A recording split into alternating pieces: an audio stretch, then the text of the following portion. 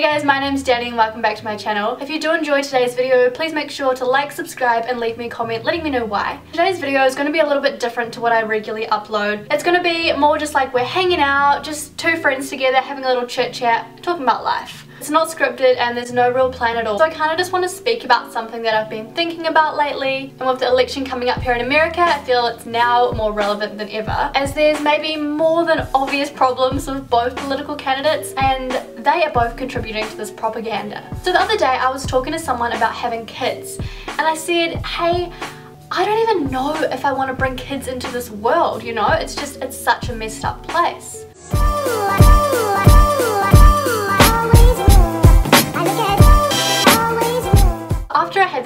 Conversation, I started questioning what I had said and really kind of digging into it a little bit deeper, which actually really opened my eyes. So I wanted to talk to you guys about this in case, you know, it might do the same for you. Basically, I feel like there's a lot of people that think this world is a really bad place. There's so much wrong in the world and it's the worst it's ever been in history. And that is literally what I thought too. And it kind of feels like it, especially in 2016. A lot of the time it feels like as the human race, we take one step forward and two giant steps back. And we're conditioned to think this way. If you turn on the news right now, chances are I mean, not even chances are, it's just guaranteed that you're going to see something bad happening and it's going to look like the world is falling apart. Did they ever show anything positive happening on there? We never see a news reporter say, Hey, here we are, live from a country where war has never broken out, or a city that has not been bombed, or a school that has not been shot. The human mind estimates probability by the ease in which it can recall examples. So we will always perceive that we're living in these dangerous times when we're constantly consuming this media. By no means whatsoever am I saying that I think that the world is perfect. We all know we're facing constant problems, war, gun control, crime, poverty, inequality, the list just goes on and on. But a lot of people think that the world is a terrible and scary place. And the truth is, is that it is in fact the exact opposite. The world we live in right now, at this exact moment, is the safest it has ever been in the civilized era since we've had communities. We're living in the most peaceful, most prosperous, most progressive era in human history. And why is that?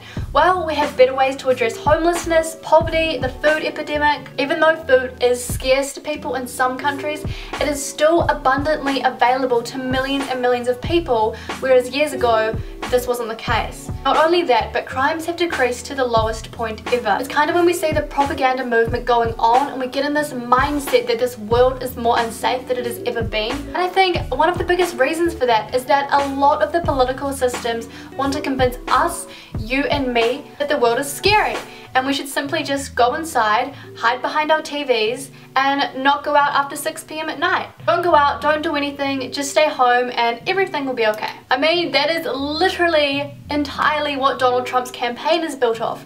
Fear. And that's just a perpetual system that really does nothing when really we should be doing the opposite. I at least personally think that we should be going out and experiencing life and that's one of the reasons that I don't plan on having kids within the next five years at least. I want to go out and explore, travel the world, change the world, and do as much as I possibly can. While the world is a bit of a scary place, more so a big happy place if you can put those fears to the back of your mind and go out and make whatever you want to make happen. So that's just what I wanted to share with you guys today. Don't look at this world through the propaganda side, through the governmental eyes, thinking that it's a horrible and scary place and you will most likely get hurt if you go outside. While there are possibilities, it's most likely not. I wanted you to know that. Don't buy into this stuff. We're better than that. We have to explore more and do more so we can go out and live our lives to the fullest and have fun and have new adventures. Because if we don't, like to me at least, it's just a waste of a life. And you know, life is just one big game. It's not a job. Our sole purpose is not to be here and make enough money to pay the bills for the week. It's so much more than that. You can do